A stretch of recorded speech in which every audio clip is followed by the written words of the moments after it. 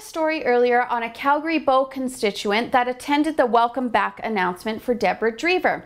The event was closed and the lady really shouldn't have been there.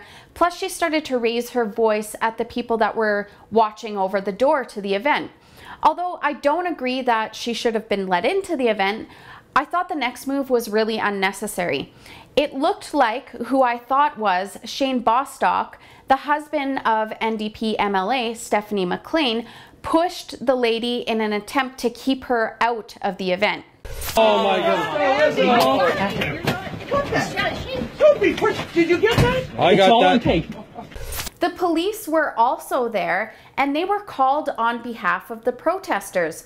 You'd think for an event swarming with the media, someone would have mentioned this in their story.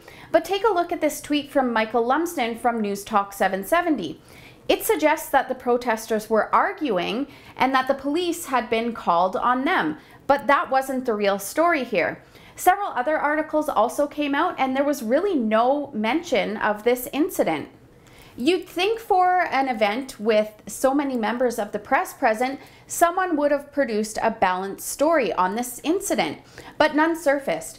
Even NDP MLAs like Shaye Anderson and Marie Renaud deny knowing who this man is.